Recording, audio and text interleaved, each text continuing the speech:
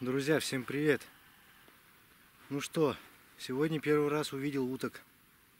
Говорят, уже вчера были, но я тут, короче, приболел очень сильно. Три дня валялся с температурой, вот сегодня первый день только вышел, и то сказали, что утки там плавают. Пошел, вот буквально что, метров 400 я прошел с таким трудом, прям превеличайшим. Вроде бы и тепло, жарко, ну, на солнце. На солнце-то показывает плюс 10. В общем, температура меня забрала крепко. Три дня просто из дома не выходил. Вот, вышел прогуляться немножко. Посмотреть обстановку. Ну вот, в общем, там сидят у нас 13 кряков, одна чайка и несколько чибисов летает. Штуки 3-2. Так, так и не понял. То одна, один, то два появится. Вот. Ну сегодня хорошо так подтает, наверное, до вечера. Очень так с солнечной стороны прям припекает. Хожу все равно в капюшоне, потому что такой ветерок бывает подует, прям холодный чувствуется. В общем, никому не советую так захворать, конечно.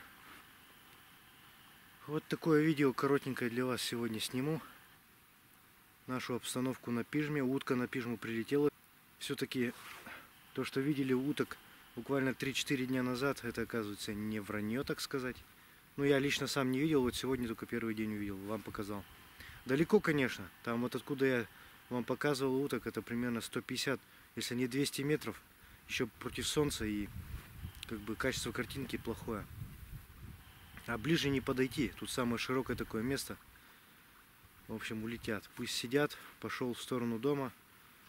Вот сижу на лодке, лодка нагрелась хорошо сидеть хорошо.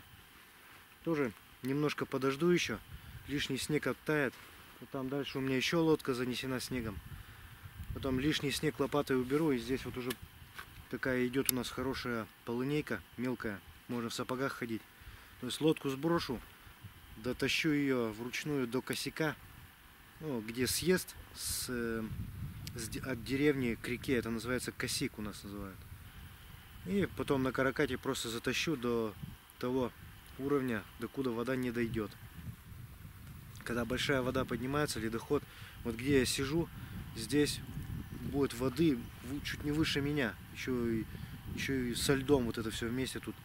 Короче, лодки оставлять нельзя. Но так, в принципе, с осени это все оставляют. А потом просто по весне затаскивают. Кто-то сразу затаскивает с осени. Вот так вот. Вот вижу еще три чибиса. Вот сейчас реально вижу три летит. Три чибиса. Ну не знаю, сегодня у нас 24 апреля. До открытия охоты еще очень много. А утка в принципе уже прилетела. То есть глаза покормить до охоты мы успеем нормально. Это только сегодня у нас первый день такой. А если еще таких дня 2-3 постоит, тут и черки подлетят, и, и эти шилохвости, короче, по-моему, вся утка подлетит. Говорят, гогля видели и крахаля еще видели. Сегодня в планах у меня было съездить вон на те щели. Я уже вам там как-то показывал места. Хотел съездить с собачкой, так сказать, собачку выгулять. И именно вот хотел картошку испечь там, ну, на костре, чай согреть, чай с лимончиком попить. Блин, ну красота просто неописуема. Солнышко светит, ну просто класс. Уже начал было собираться и чувствую, просто нету сил. Думаю, ладно, фиг с ним, попробую завтра. Если завтра будет хотя бы такая же солнечная погода, обязательно соберу, съезжу.